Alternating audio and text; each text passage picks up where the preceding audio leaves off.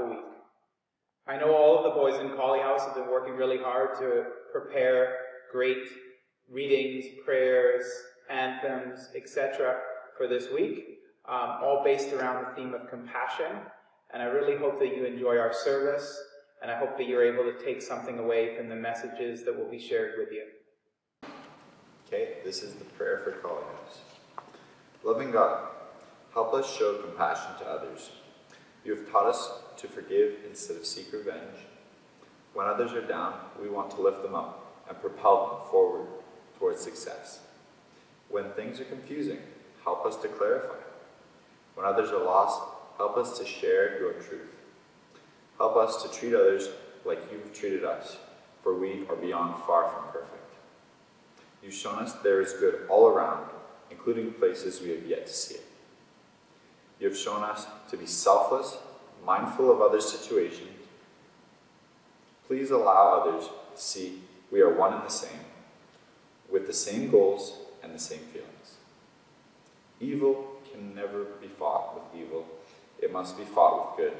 Show others that compassion will guide your actions to a more mindful tomorrow. Amen. This land upon which Appleby College is located is part of the treaty lands and territory of the Mississaugas of the Credit. These lands on the shore of Lake Ontario are steeped in Indigenous history. As we gather on these treaty lands upon which we learn, live, work, and play, we are in solidarity with our Indigenous family to honor and respect the four directions, lands, waters, plants, animals, and ancestors who walked before us. We acknowledge and thank the Mississaugas of the Credit First Nation for being stewards of this traditional territory. The greatest degree of inner tranquility comes from the development of love and compassion. The more we care for the happiness of others, the greater our own sense of well being becomes. Cultivating a close, warm hearted feeling for others automatically puts the mind at ease. This helps remove whatever fears or insecurities we may have and gives us the strength to cope with any obstacles we may encounter. It is the ultimate source of success in life. As long as we live in this world, we are bound to encounter problems. If at such times we lose hope and become discouraged, we diminish our ability to face difficulties. If, on the other hand, we remember that it is not just ourselves, but everyone who has to undergo suffering, this more realistic perspective will boost our compassion and capacity to overcome troubles. Indeed, with this attitude, each new obstacle can be seen as yet another valuable opportunity to improve ourselves. So, we can gradually strive to become more compassionate. That is, we can develop both genuine sympathy for others' suffering and the will to help remove their pain. As a result, our own serenity and inner strength will increase. Ultimately, the reason why love and compassion bring the greatest happiness is simply that our nature cherishes them above all else. The need for love lies at the very foundation of human existence. So, we desire, since we desire the true happiness that is brought about by only a calm mind, and since peace of mind is brought about by a compassionate attitude, how can we develop this? Obviously, it is not enough for us to, to simply think about how nice compassion is. We need to make a concerted effort to develop, to develop it. We must use all the events of our daily life to transform our thoughts and behavior. Hey Abdullah, what did you get on the world religions test? I didn't do it too well, to be honest. I tried my best, though. Someone told me that you failed. Is that true? Who said that? I have my sources. Please, give me a break. Not today, man. Not today. Well, better luck next time. I'm going to my room. I need to be alone. Ryan, I heard Abdullah had a tough day. Want to go see him? Want to see him play some football? Yeah, good idea. I'm sure he could use the support. Hey Abdullah, how's it going? Eh, it's going okay. I didn't have the best day, to be honest. That's too bad. Is there anything we can do to help? Not really. I appreciate the support, though. It is an awesome feeling to have people who will support you when you're down. Thanks, guys. Abdullah, I want to know that Ryan and I are always here for you. Yeah, Abdullah, we're always here for you, especially when the going gets tough. Hey guys, are you seriously talking to this guy who just failed his test? Please tell me that you haven't told anyone. Of course I have. Why would you say that, Dimitri? That is so rude. How do you think Abdullah feels knowing that you've told other people? Thinking of others is a crucial aspect of being compassionate. Yeah, Dimitri. And call you to respect each other and help each other out during tough times. Show some compassion. It is important to be compassionate towards others. We need to show sympathy and support when others are suffering. Do your best to always be kind and help others. Wow, I never realized how important compassion really is. It is the base of all kindness. I am so sorry, Abdullah. I won't let it happen again. Moving forward, I'm going to do my best to be more compassionate and think of others. No worries, Dimitri. I'm glad we could use this as a learning experience. I say we all go play some football together. let's go.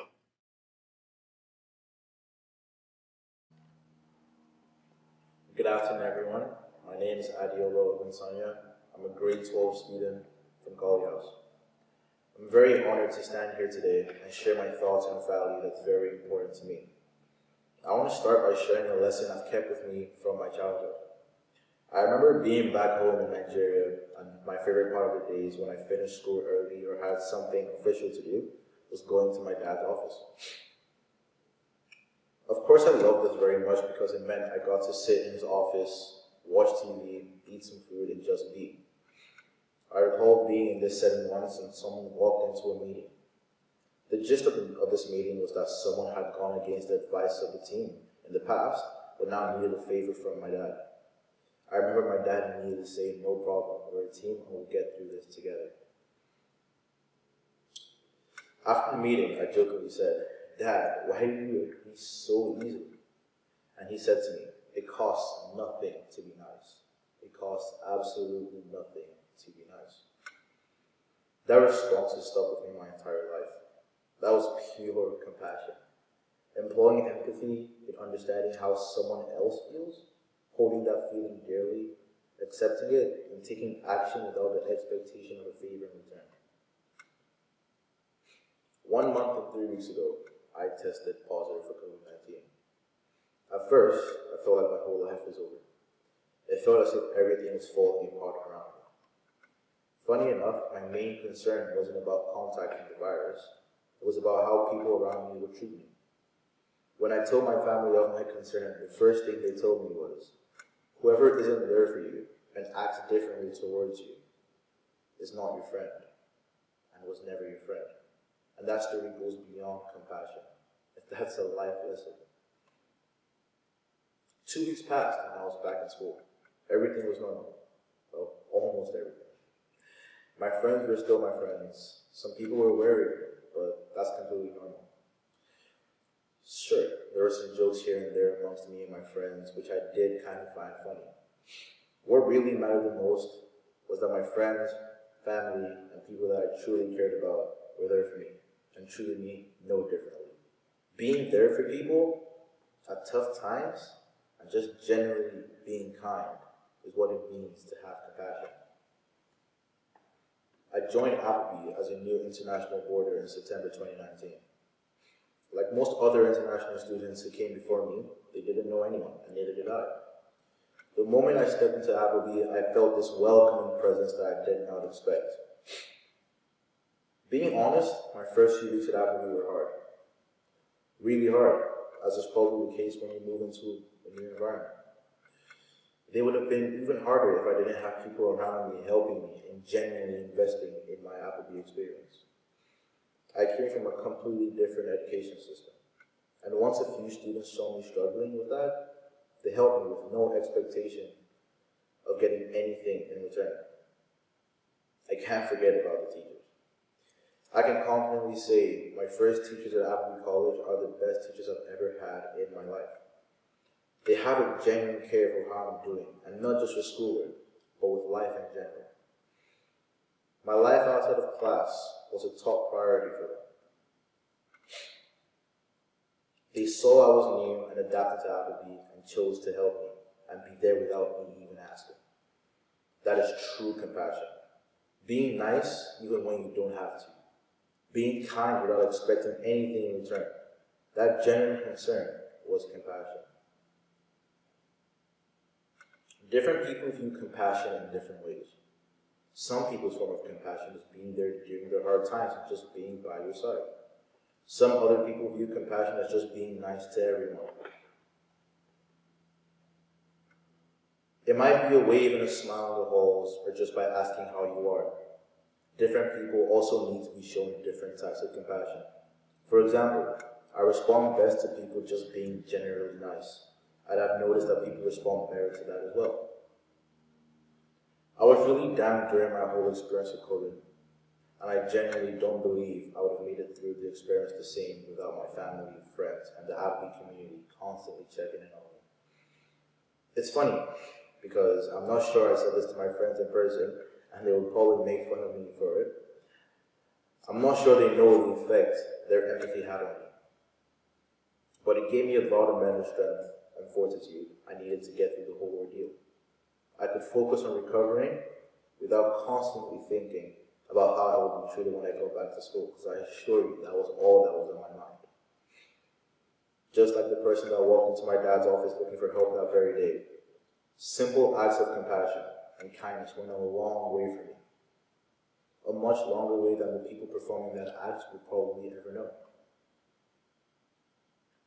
If there's anything I want to implore anyone to do today, is to show compassion in everyday life. Because first, it typically doesn't cost you anything. And second, you could be making a massive impact in someone's life. That concern for how your neighbor feels and the intentional effort to help without a transactional expectation in return, this is what compassion means to me. I hope we can all continue to be compassionate in everything that we do. Thank you.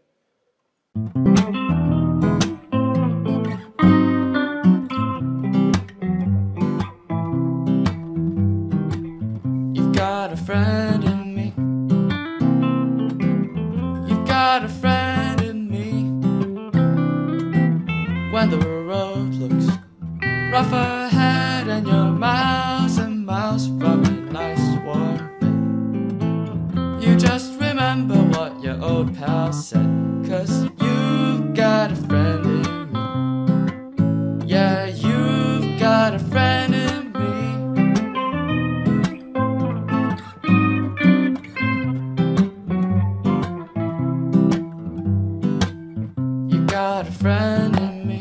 You got a friend in me. You got a friend in me. You've got troubles, and I've got them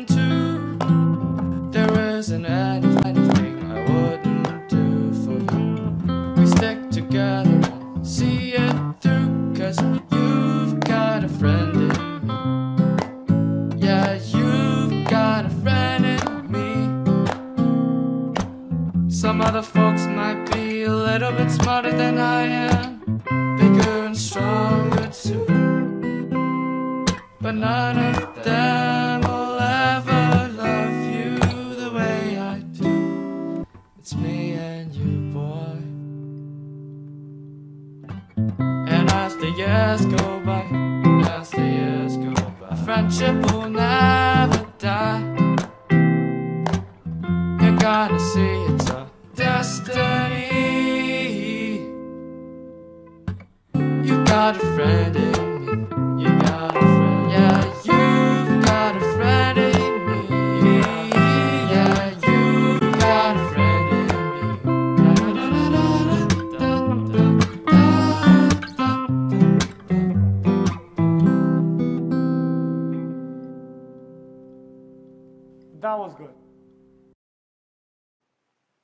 Cherish compassion for all beings.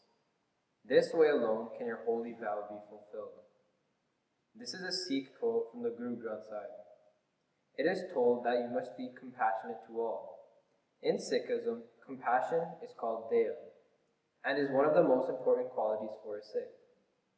What Daya teaches us is why it is important to be compassionate. It states that the only way one can feel pure is to give love to all. Compassion is important as it gives us the ability to understand someone else's situation and give us the desire to take action to improve their lives. Showing others compassion and having them feel happy will not only help build a meaningful relationship and a stronger friendship, but the joy of spreading compassion naturally brings out happiness and fulfillment in you. Please bow your heads for the closing prayer. Loving God, we live in a world where we're so overcome with our problems that we forget our neighbor may be suffering too. Lord, fill us with compassion for all humankind. Help us to see them as you see do. Give us a heart to love them and see them through their trials. It's the only way to live. Lord, loving our neighbor as we love ourselves. In name we pray, we believe.